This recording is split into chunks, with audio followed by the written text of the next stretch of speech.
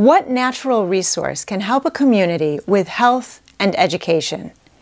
A Long Walk to Water by Linda Sue Park. The first part of each chapter begins with an 11 year old girl named Nya, who is part of the Nuer tribe. She spends eight hours a day collecting water for her family's survival.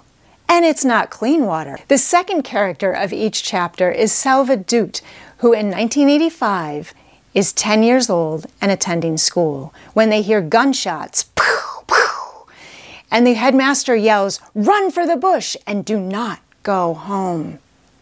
Salva runs. Rebels from southern Sudan are looking for children to become soldiers to help fight the government in the north. This civil war will go on for 21 years. But it's not the only conflict. Nya is from the Nuer tribe and Salva is from the Dinka tribe.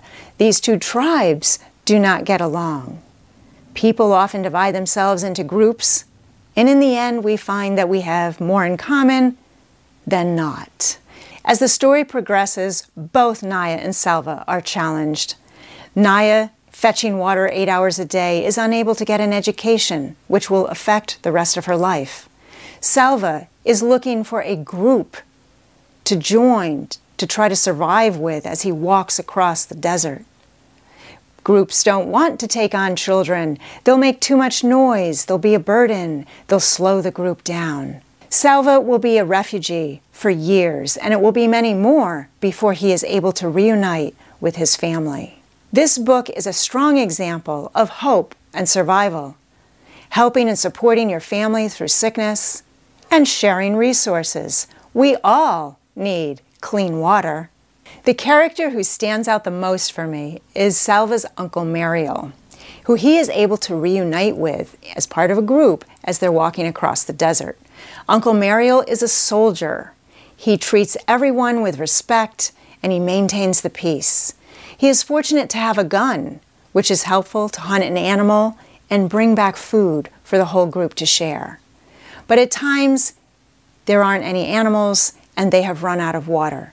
He encourages Salva to keep walking across the desert.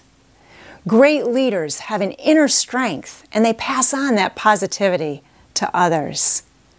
Salva learns to take one step at a time and he uses this advice throughout his life. Linda Sue Park ends A Long Walk to Water by pulling everything together for both characters. And even though this book was published in 2010, it is still relevant for many parts of the world.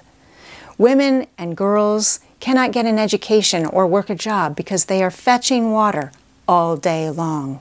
Salva has a helpful idea, but you're going to have to finish the book to find out what it is. Thanks for watching, keep reading, and have a great week.